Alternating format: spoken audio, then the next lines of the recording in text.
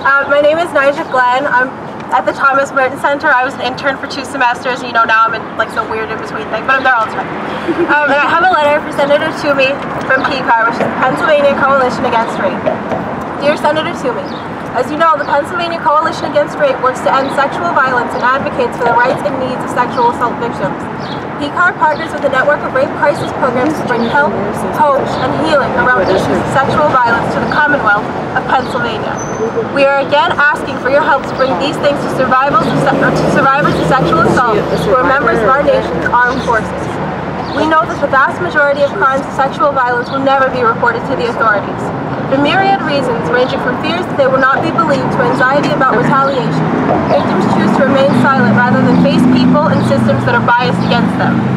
While this is true for victims of sexual violence in general, fear about the impact of reporting is particularly salient in insular communities such as the military, where one's professional, personal, and social lives are so uniquely interconnected and interdependent. The Department of Defense's Workplace and Gender Relations Survey of active duty members in 2013 found that within the year period to the study, nearly 25% of active duty servicemen had received unwanted sexual attention. Over 6% experienced sexual assault. Numbers of reports by servicemen were significantly lower at approximately 8% and 1% respectively. However, barriers to reporting are assumed to be greater for men and non-gender conforming service members in a hyper-masculine culture. Victimization is too often perceived as a sign of weakness, and as a result, victims are silenced. We appreciate improvements such as the Special, Victims Counsel programs, the increased focus on retaliation and prevention in education.